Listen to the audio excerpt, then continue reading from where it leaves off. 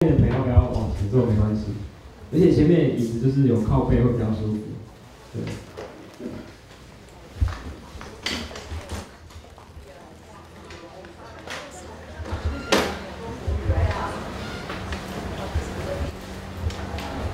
还是先问一下好，有没有人是第一次来折舞的？有的话可以举个手让我知道吗？有有还是有，对，然后就很高兴大家今天来折舞，因为今天是二零一五年的最后一次折舞，在好办，对，是今年最后一次，那对也是圣诞节，嗯，那另外一个好就算了，那就是因为还是有新的朋友，那还是讲一下说。哲学星期五是一个怎么样的团体？其实哲学星期五是由一群志工所组成的。那什么是哲学星期五？就是我们会利用礼拜五的晚上，会在这样的一个室内空间去谈不同的议题。那哲学星期五谈什么？只要它是有公共，它具有公共的，它是一个公共议题，那具有公共性，我们都可以来谈它。例如我们今天谈的所所谓的食安。或者是很广泛的参与政治，或者是一些人权的议题。我们之前讨论过死刑的存废，或者是酷刑，就是只要这些议题是具有公共性，而且大家感兴趣的话，我们都可以在哲五，我们可以在哲学星期五来进行讨论。那为什么我们要做这样的一个座谈？我们是希望哲学星期五能变成一个平台，能让大家可以很。公开的来讨论政治，我们以前可能都很习惯去听别人讲，去听一些台面上政治人物来讲。可是其实我们很少有这样的平台可以来讨论这些公共议题。所以我们希望可以借由哲学星期五，我们可以这样子很很公开，然后很很自由的去谈我们感兴趣的议题。我们希望说，其实在讨论这些公共议题。所谓讨论政治，并不是那么严肃，也并不会是那么困难的事情。我们希望可以从平常的这样的讨论，就可以养成我们，就是我们平常这样子关心，所谓关心政治、关心一些公共议题的一个习惯。那我刚才有说，哲学星期五是由一群志工组成的，所以其实看到后面在后面在录影，或者是看到这样的 banner，其实都是我们志工去设计的。那所以会看到说前面呢会有一个易注箱，这是因为其实哲学系就是一群志工组成的，我们没有任何的知识。那平常一些场地费，或者是如果一些讲者从比较远的地方来，我们会帮他们补助一些车马费。那其实就是靠这样大家的译注来维持哲学星期五的运作。那哲学星期五有一个很大的特色就是。我们虽然每个礼拜啊都会请不同的讲者啦，但是哲学星期五的主角其实是在台底下各位，在台底下你们其实才是哲学星期五的主角，所以我们很欢迎就是所有的所有的来宾，所有的朋友，你对于这个题目有任何的想法，不管是认同或是不认同，都很欢迎各位在会后来发表你的意见，因为你们才是哲学星期五的主角，所以真的很欢迎大家。发表有人发表不同的想法，那因为你们是今天的主角，所以泽武有另外一个传统，就是要自我介绍。就是待会呢，我会把麦克风传下去，那你就是跟大家自我介绍说你是谁，从哪里来。那对于今天的议题，你有什么想法？还是你为了什么从哪里听到？为什么会想来听这一场？那就是一人三十秒短短的时间，我们来做自我介绍。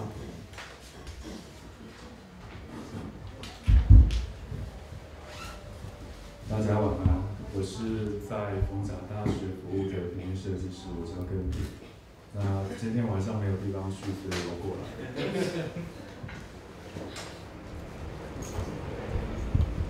其实可以坐着，大家就是轻松就好，对，轻松就好。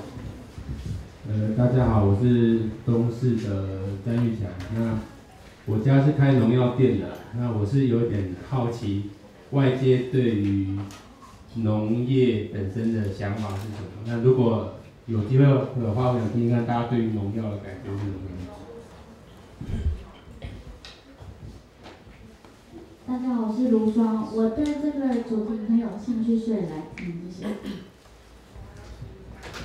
嗯，大家好叫永丰，我来自无锡风工作室。那因为我们跟无锡的农民还有大农民有一些尝试性的想法，所以今天很好奇，就来做一些交流跟学习。谢谢。可以跟大家简单的分享什么尝试性的想法吗？就是其实我们一直在呼唤青年农民回到海线地方来从事农业，但是其实现在很多土地都已经变成建地，甚至是商用价值。那这个过程我们不断在流失地方的价值，甚至是青年。那我们一直在找怎么样让农民可以回来的希望。对，所以今天有谈到社区的经济如何可能，所以我就很好奇来取经这样。谢谢大家，谢谢。嗯，大家好，我是子汉。那我们是。我几个朋友现在在做那个台湾团购的推展，然后我们又成立一个叫霸豆制法，那我们是也在跟云林的一些农友在去做，那么想想听看看这个这个主题可不可以对我们往后的一些发展有什么帮助？这样子。大家好，我是佩君，然后今天因为对这个主题有兴趣，所以就。大家好，到这里对今天的主题蛮有兴趣的，就来看一下。哎呀，这里有太多了，我想听一下，你为什么有兴趣？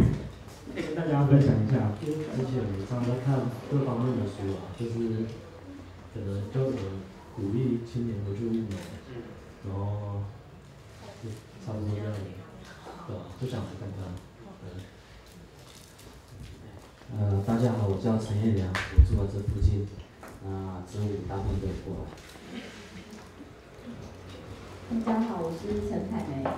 嗯，就是我之前看了一本书叫《社区力》，然后我相当支持这样子的理念，然后也相信说台湾就是是可以透过就是小型农业这样子，然后可以让我们自己的食安更加的安全。然后所以想说，就是有这个议题，就是过来一起参与，然后听看更多好的想法这样子，然后可以去跟更多人分享。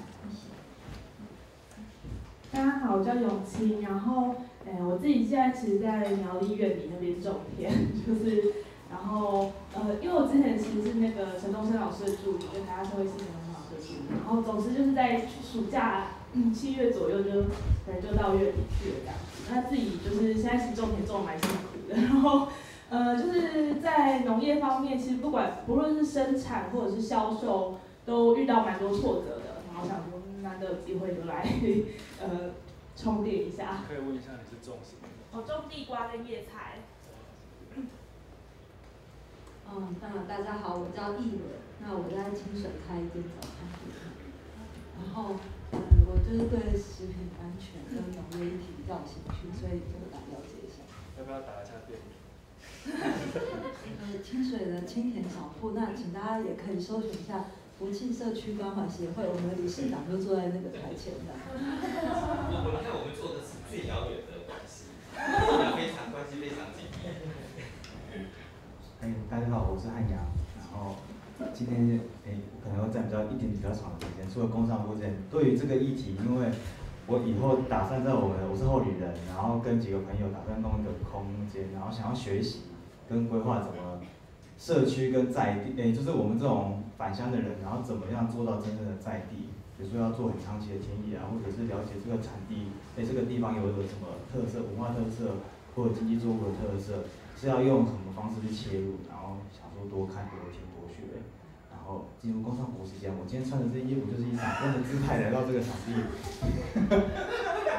请大家看到前面这海报，就是明天我们在大雅的天寿宫会播放《太阳的孩子》，就是有跟他们买一。公播的版权，然后是一个开放大家来看这部电影。这部电影之前台中泽武也有举办过，然后如果那时候错过了，也希望这一天可以，明天可以到这个地方去参加这个活动，放的太阳的孩子。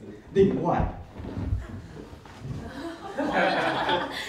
党工丢题之二，明年的一月二号跟三号在也在台中的大雅。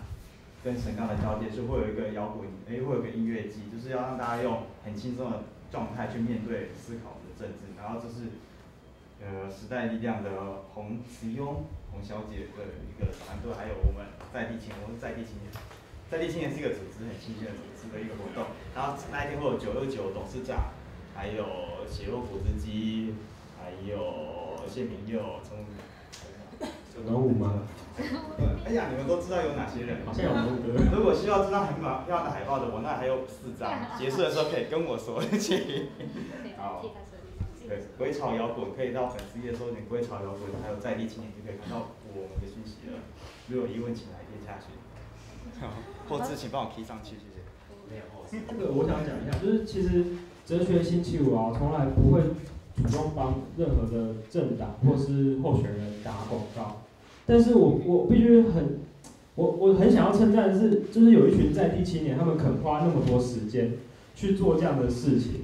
我们常常都说这些政治都被一些老人家给把持住了。那既然既然现在有一群年轻人肯这样站出来做这些看起来很很累的事情，只是希望可以改变他们的家乡，那我认为说，如果你刚好是住在附近，或是你有朋友就住在那附近的话，就是邀请他们一起去参加，去听一下这些年轻人到底在做什么。因为哲学星期五也从来不避讳谈政治，我们每个场次其实都在谈政治，因为政治就是生活。对，那就是有兴趣的朋友可以就是支持一下，去参加这些青年人的活动。我自己是青年人啦，对，那谢谢。大家好，我是台中人，叫瑞希。然后，目前，因为每天每天三餐都会吃饭，所以食安是很重要的议题。然后然后想要等一下，想要请问一下，就是你们怎么去定义那个农食正义？谢谢。大家好，我叫家军，台中人。呃，我本身就一直有在关心农业或是食安这这这些问题，也有一直在看这方面的书，所以想说来再多听听，多看看。大家好，我叫林晨宇。啊，拜五暗时无代志，来求进步安尼啦。嗯，大家好，我是韩庆，然后是台中教育大学的学生，谢谢。大家好，我是台中教育大学英语系四年级的肖勋怡，然后已经来第二次，谢谢。嗯，大家好，我叫张嘉玲，然后因为之前会看一些文章，就关于说台，因为台湾是是以农立国的一个。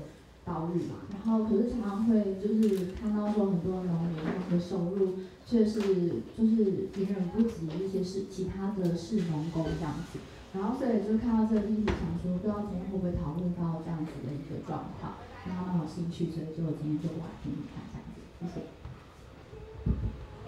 好，大家好，我叫 Frank，然后因为我自己学学经历的关系，然后自己家里也是从事。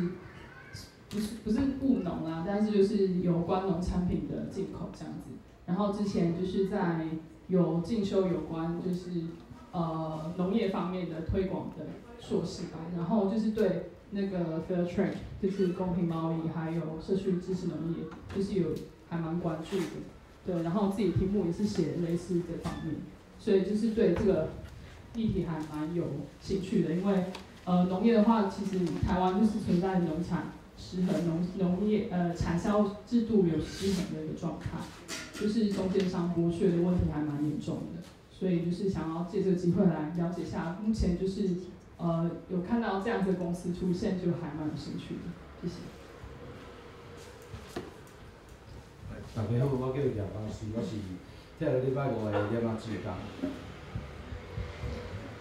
嗯大家好，我是嘉义，也是哲学星期五的志工。然后今天这个题目，我看到前面四个字就想到那个熊妈妈买菜网，就是我们中心第四台那个 M O D，就是他强强力打那个广告，所以好像现在很多人也不见得上大卖场或超级市场去买菜，因为现在因因为平台不同，那个我还跟你讲说，你上午订中午就到，中午订晚上就到。然后虽然我没有煮菜，但觉得很吸引人。然后后面那个不忘农时正，以前的想象大概只有血汗咖啡跟血汗巧克力，就是那个比较大宗的物件。然后如果真的可以买菜的话，我会在我们家巷口的那个菜市场，就是不是买那个有店面的，就是那种他自己开餐车，或者他只是就路边摆的那种。我觉得这是我想象中的农时正义啊，就是它可能规模不是很大，然后也没有太好的扛棒或是平台，或是他菜也超丑的，但是但是就是他自己种的啊，然后。社区经济，我不晓得我自己个人的需求，我是想说想要这边去理解说，像我自己现在已经忙到没办法自己煮菜都外食。那如果把那规模扩大，不是自己家里煮菜的话，那社区里面像刚刚有提到早餐店嘛，它是不是也可以提供比较安全或是比较好、比较可信赖的那个饮食的来源？然后最后一个想问一下，因为我以前是念那个中兴大学啊，然后但是今天看到的女谈者是那个静宜大学的老师，我觉得还蛮妙的，因为中兴大学有那个算是农夫市集，其实也蛮多年，又毕业很久。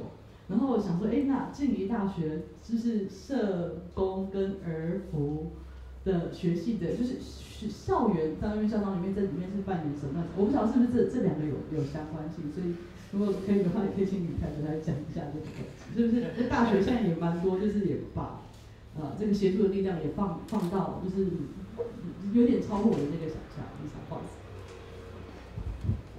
大家好，我是杨宗理，那我也是泽武之光。呃，就是我们在，其实我，呃，我是陶老师的学生嘛，哦，那所以，所以也是学社会工作。那我们其实很重要，就是一个那个社社区工作里面一些很重要的一些呃概念，或者是说我们有一些核心的一些意识形态、中心思想这样。那我觉得对我来讲，说社区经济，呃，就是说整个社区里面我们要环顾的层面也非常多，就是。呃，我自己会认为说，社区里面有文化面的、社会面的要去看，经济面的也要看，那另外一个是政治面的东西要去兼顾。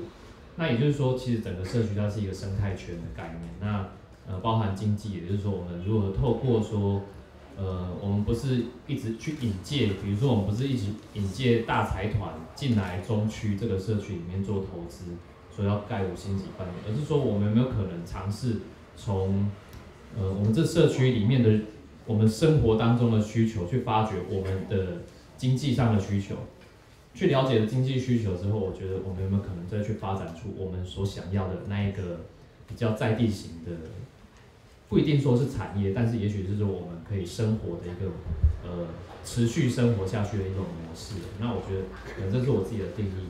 那呃，因为神佑从比较从从事有关于这个。呃，就是这个社区菜市长，这个我真的觉得非常棒的一个来电。那呃，我们今天也很期待说神六可以很多的分享，然后也许说不定将来有机会我们在中区就可以，呃，也有社区菜市场。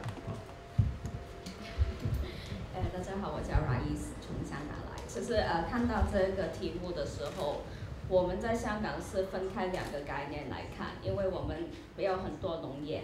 但是现在我们想推动自己本身的农业发展，因为我们其实也做过一些就是 calculation，发现如果我们可以继续发展一些农业的话，其实香港很小很小的地方也可以自客自助，就是不需要再靠内地的那些，我们我们说内地就是大陆中国大陆了，所以内地来的一些蔬菜，但是那个概念在。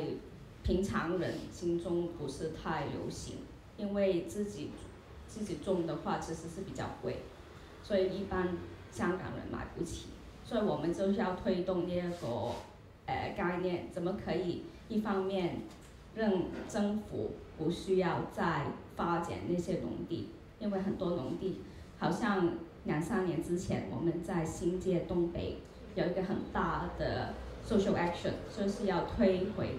政府要发展那个农地的发展，因为他们要拿回去那些农地，就会起一些铁路啊，回去大陆的那些通往大陆的铁路，所以就弄到香港很多的农地也没有了。但是我们就要很多的努力，怎么可以停止政府去发展农地？然后另外一方面就是要香港人可以再买回自己所种的一些农业产品。所以这是一个，我们现在有一个 campaign，就叫在广东话，我们说是，诶，我不帮衬大地产商，我不帮衬大地产，就是我不会去买大地产，他们一些公司或者是市场所发出来的所有的产品，我要去帮那些小店去买他们所种出来的产品。所以好像是，呃，今天是呃圣诞节嘛。所以我们这个行动就是叫大家不要再去好像很大很大的商场里面去 shopping 了。那么你们可以去那些小店去买他们的农业产品，去帮衬他们的工作。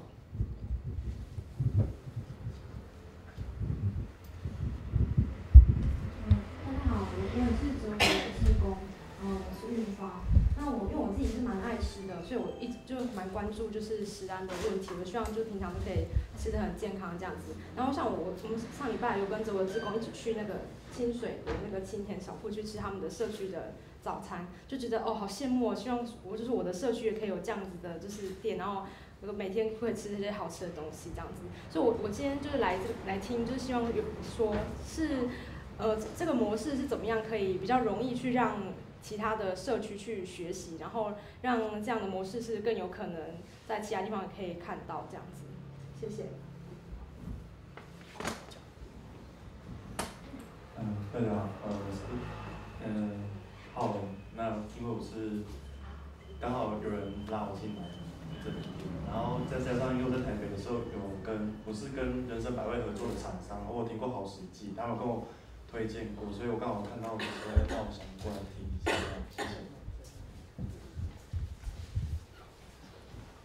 呃，大家好，我是好办现在的店长叫嘿嘿，欢迎大家来好办。然后我在今年二月到五月的时候，在陈东生老师的课上面也接触到社区经济这件事情，然后那个时候就很很感动的是，我觉得我们真的很需要一个很不同的方式，一个新的想象来决定，我们不一定一定要走一个很资本主义的方式就。也可以有一个生活方式，所以今天非常想要来听。然后工商服务时间，就是我要卖鲜奶了，各位。我们有阿佳的鲜奶哦，我们有鲜乳坊的鲜奶，它也是小农鲜奶，它其实它其实没有那么的好卖，因为它其实售价还是比一般的鲜奶还要再贵一些。但是像我现在就是疯狂在喝，因为它真的太好喝了。哎，现场只剩五瓶。所以今天有限量，就是现场剩五瓶。待会如果想要，可以来找我，或者待会家园会过来。谢谢你们。大家可以不用去买林凤营的牛奶，在那边买有品质的牛奶就好了。对，也不用退来退去的，直接带回家。